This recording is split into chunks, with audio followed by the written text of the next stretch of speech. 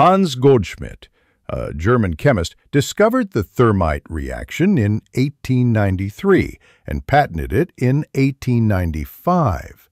His process, sometimes called the Goldschmidt reaction, involves a high-temperature exothermic reaction between a metal powder and a metal oxide. Thermite is widely used in welding, metal refining, and incendiary applications. Thermite works through an exothermic redox reaction, where a metal powder, usually aluminum, reacts with a metal oxide, like iron oxide, to produce intense heat and molten metal. When ignited, the aluminum steals oxygen from the iron oxide, creating aluminum oxide and releasing molten iron.